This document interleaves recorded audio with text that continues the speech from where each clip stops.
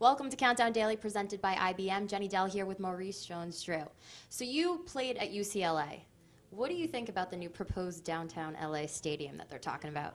Uh, I think it'd be awesome for LA to have a professional team. Um, you know, in college when I was there, it was always UCLA, USC. You never got a chance to go to a professional game, so that kind of turns LA into a bigger city where uh, I guess people have more look to do on Sundays. So it, it'll be fun uh, for them to have it. Um, whichever team gets it, they'll be lucky.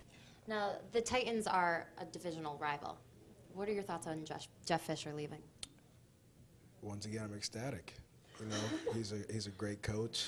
Uh, hopefully, they don't hire one someone that can that's as good as him, and uh, they go backwards. Why aren't you wearing your hat?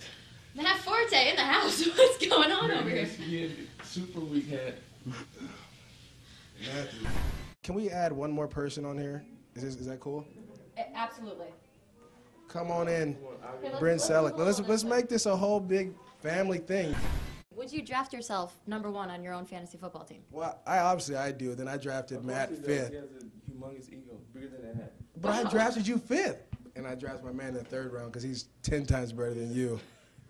And you had all those touches and didn't do anything. No, I, I did a lot. I did a lot.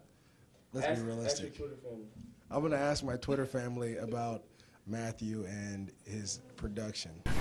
Can we can we get a quick Super Bowl prediction from all of you? Uh, well, we know Matthew's gonna say the Steelers because he's bitter about the NFC Championship game, I'm not good. and we know you're gonna say the Steelers because they beat you guys too, and I'm gonna say the Packers because I despise both you guys for making it to the playoffs. All right. So how about that? Does that go well? That's completely fair. Is it? Sure. Everyone's right. entitled to your own opinion, right? First Amendment. There you go. I've learned. I've learned that the last couple weeks. Freedom of speech. Well, this got very interesting. Make sure you keep it locked on ESPN.com for more footage from the Super Bowl. Hold on, before we end it, this is our gift to you. Thank you so much. That's nice. I That's hot. really appreciate it.